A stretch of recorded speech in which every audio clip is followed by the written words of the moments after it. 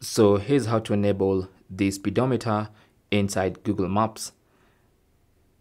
Go to Google Maps application and then tap on your profile icon in the top right corner and then select settings.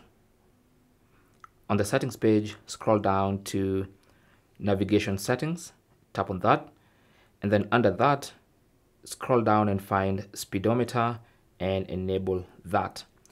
Now once you enable that, anytime you're navigating with Google Maps, maybe you're going somewhere and you've set up navigation, it's going to show you your GPS speed. So it's going to show you your current speed, the speed at which you're driving on uh, the Google Maps interface.